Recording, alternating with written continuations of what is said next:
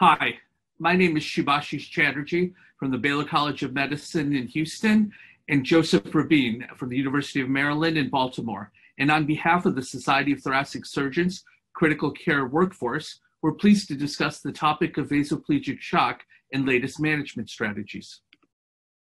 We'll begin by discussing what vasoplegic shock or vasoplegia is, its outcomes, relevant risk factors. We'll talk about vasopressor management, vasopressin itself, norepinephrine, and angiotensin II utilization. We'll talk about salvage strategies that might be available, and we'll try to summarize this all for a uh, management algorithm. So the definition of vasoplegic shock is variable, and it's there's a lot of heterogeneity within the literature, but the consensus definition is describes it as a refractory hypotension characterized by a mean arterial pressure in the 60 to 65 range, a cardiac index that's high, anything greater than 2.2 to 2.5, a low systemic vascular resistance, and quote unquote the need for high dose vasopressors. Depending on how this is defined, the prevalence exists anywhere between 10 to 40% of the time after cardiac surgery. And we know the outcomes are certainly adverse with a three to five fold increase in mortality.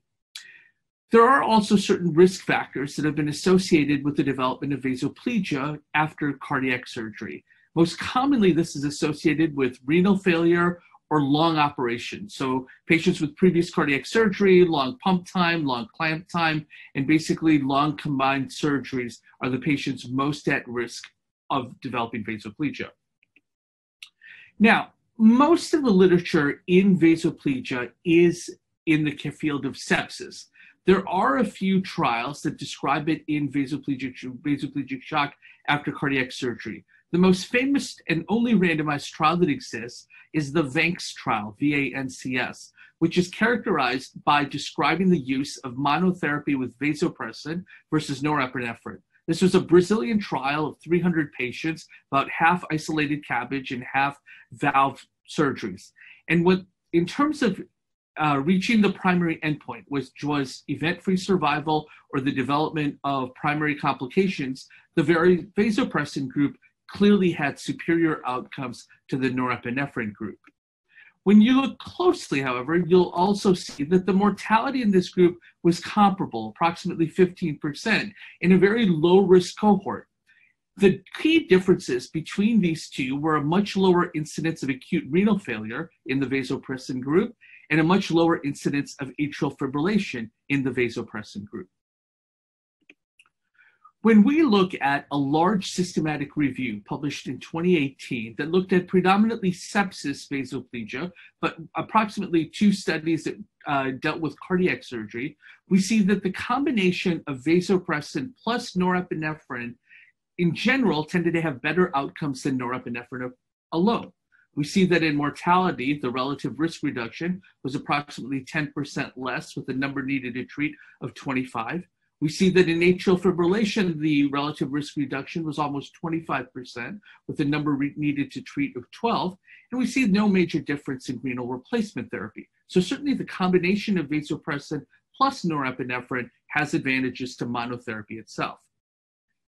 What we also have in our armamentarium in the last two to three years is angiotensin 2, the ATHOS 3 trial demonstrated that angiotensin 2, which is a naturally occurring physiologic substance, clearly had a significantly improved outcomes with respect to uh, achieving a mean arterial pressure of at least 75 and a significant reduction of vasopressors. So this angiotensin 2 is certainly our third line in terms of refractory vasoplegia to be able to achieve a sustainable mean arterial pressure.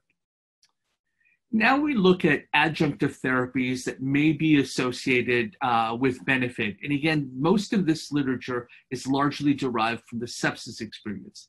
So with respect to steroids, so in general, glucocorticoid therapy, and then this is the adrenal trial that came out two years ago, but there are three other trials which all describe the same thing, which is that there's no mortality benefit to glucocorticoid therapy, but there is a faster resolution of shock decreased vasopressors, and more improved hemodynamics.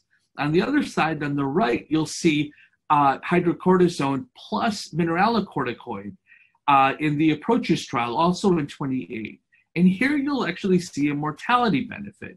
In addition, you'll also see a faster weaning of vasopressors in the steroid group. So it's been our practice to be able to use combination glucocorticoids and mineralocorticoids when we utilize steroids. With respect to methylene blue, methylene blue has been around for a while and it's often used in salvage strategies. You do have to be careful about using it uh, in patients with MAOI or SSRI, uh, you know, anti-depression uh, medications for the risk of developing serotonin uh, syndrome. Uh, but the primary benefits of methylene blue, at least in published reports, does suggest that there may be some benefit in, the, in uh, a number of patients. Here's some published experiences. Most of these series tend to give them as a single bolus dose. There are other experiences where people have published uh, using it not only as a single bolus dose, but also then as a continuous infusion. So there are different strategies of how to be able to use methylene blue. With respect to other adjunctive medications, hydroxocobalamin or vitamin B12, which is also known as Cyanokit, given most commonly for cyanide toxicity.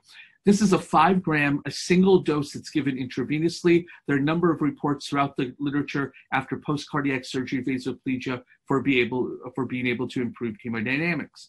In addition, what is probably one of the most popular and, and most investigated aspects in the sepsis literature is ascorbic acid or vitamin C. There are a couple of, uh, here's a case series from uh, describing uh, the use of vitamin C after post-cardiac surgery, uh, vasoplegia with satisfactory outcomes. So finally, we get to where our algorithm is today. And so before, we used to have sort of a hodgepodge. We would try a lot of different things. But today, where we stand is we first start with norepinephrine. Once we get to approximately five mics per kilo, uh, five mics per minute, we then initiate vasopressin. And once we achieve that, if we're able to get a target mean arterial pressure, probably closer to a map of 70 or so, then we're satisfied. If we're unable to do that, we initiate angiotensin 2 and we achieve our target mean arterial pressure. Now, cost is a relevant consideration. For one day, norepinephrine costs about $30 a day. Vasopressin costs about $400 a day, and angiotensin 2 costs about $1,400 a day. So our algorithm is angiotensin 2 is the last on, but the first off, and that's our algorithm for how we approach it.